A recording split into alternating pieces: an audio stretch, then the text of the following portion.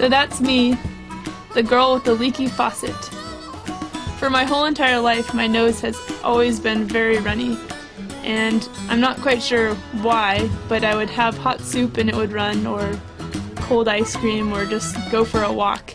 And I really didn't even have to do anything at all, it would just constantly be running. In elementary school and junior high, I was too embarrassed to actually go across the room to get some Kleenex, so I would just blow kind of my nose in my shirt sleeve and it would be really embarrassing. But later on I moved to tissues and because I didn't like throwing things away, I would keep them kind of crumpled up in my pocket and I would reuse them, which was another form of embarrassment. And not to mention my nose was continuously just raw and red. And I just hated the whole waste about the whole thing. When I was in college, I got to the point when I was like, alright, something has to change. So I started thinking. I knew I didn't want to use tissues because of the clutter and because they hurt my nose. And also, they're really wasteful. You cut down trees so you could make some tissues that you'll use a few times, if you even use them over and over, and then you throw them in a landfill forever. I think not. So I started thinking again. Then I was like, what about a handkerchief? I mean, you could reuse that. I started doing that and I really liked it. Just throw it in the washing machine, my nose wasn't hurting after using it.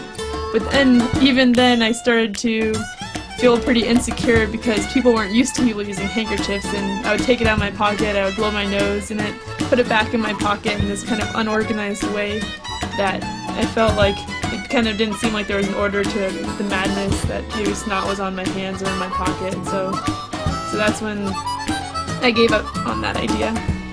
And then I started thinking, hmm. Then I came up with a hanky book.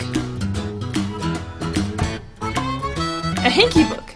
If I bind pages together on an edge like a book and have a cover on it, then I could blow my nose in the pages and then my hands won't actually touch where my snot's touching. And then when I put it in my pocket, it won't get my pocket dirty perfect.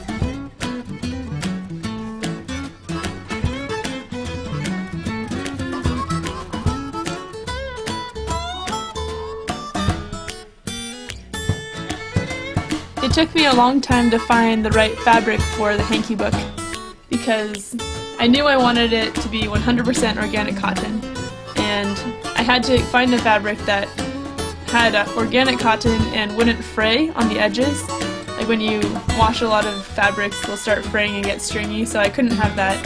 And I also couldn't have the fabric thin enough that when you washed it, the pages would curl. So believe it or not, it took a very long time to kind of find a fabric that met all of my needs and um, also had cute, cute uh, little pictures on the front because I feel like that's the big perk about the hanky book. And so, but luckily I found awesome fabric and I'm really happy with it. And now the hanky books are being made in Poway, California, and they are 100% organic. My name is Leslie UK and I invented the hanky book.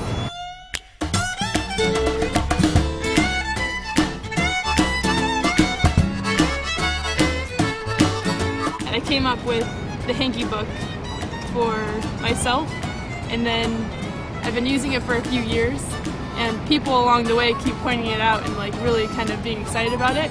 So I turned it into a product that sold really well at the Earth Fair in San Diego and it turned out there are all kinds of uses for it. Hanky books are great for blowing your nose, cleaning baby dribbles, cleaning your laptop screen, wiping camera lenses, gardening, and they are great for backpacking. Really though, the possibilities are endless.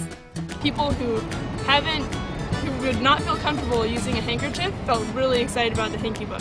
And I think it has to do with it being like cute and not feeling uh, like you're kind of touching the area where you've blown your nose before. It kind of just seems like a completely different story than the handkerchief. Um, and like in my generation, it's the only people we really see using handkerchiefs are like our grandparents and it just kind of seems like it's been outdated or something. But the hanky book brings it back into a new package and gets people excited about it and I'm hoping that enough people can start using them and then replacing using tissues and could kind of get rid of that disposable culture that we've developed.